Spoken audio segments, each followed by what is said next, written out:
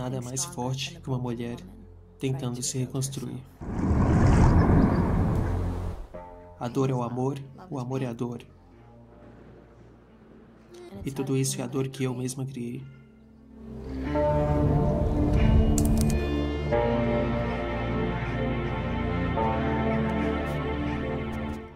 Na minha vida, eu tenho colocado minhas grandes angústias nas músicas. E nesses últimos anos, tudo tem sido tão intenso.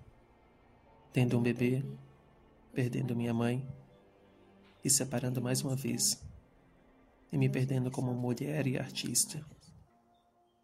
Eu sinto que preciso recomeçar.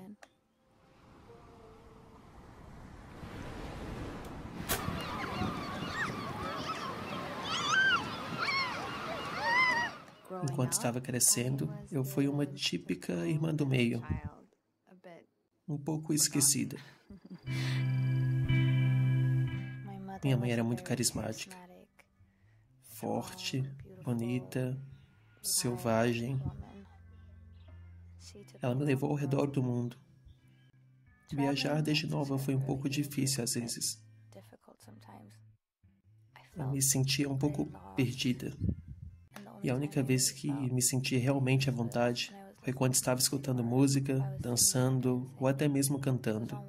Isto era o único momento que eu poderia ser eu mesma. Eu tinha um pouco de rejeição e fracasso antes de tudo acontecer com a minha música.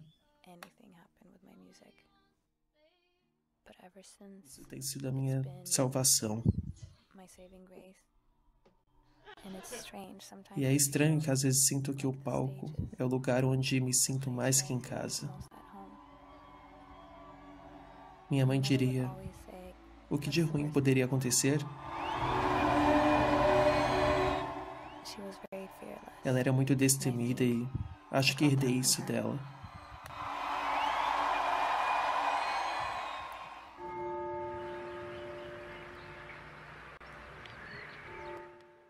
Minha mãe ficou doente quando meu filho tinha apenas três semanas. Isso foi a restauração da alma.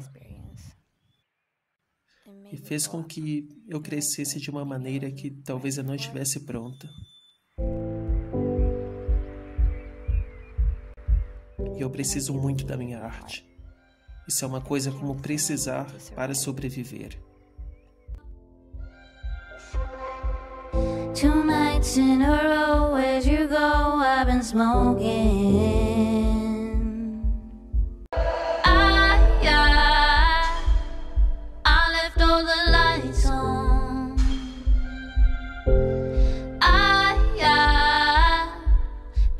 sleeping with no clothes on. You never came home. Two nights in a row, where'd you go? I've been smoking.